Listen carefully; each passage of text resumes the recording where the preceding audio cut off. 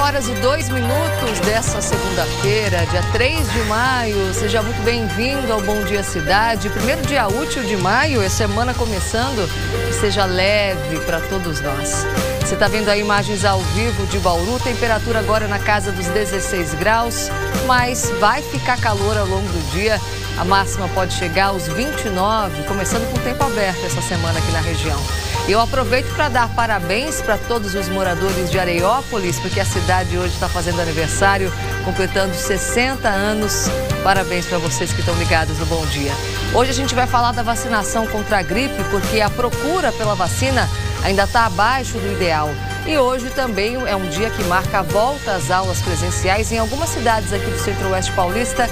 A gente vai te contar quais agora. O Bom Dia Cidade está só começando.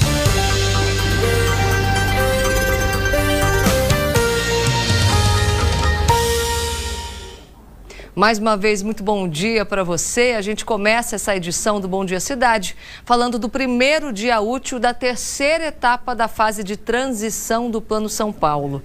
Essa é mais uma ampliação na flexibilização de serviços e atividades comerciais que começou no último sábado. Por causa disso, o horário de funcionamento do comércio foi ampliado, só que é claro que todo mundo precisa respeitar o limite da capacidade de atendimento, as regras de higiene de distanciamento. E quem vai contar para a gente como é que ficam esses novos horários é a Thaís Andrioli. Bom dia, Thaís.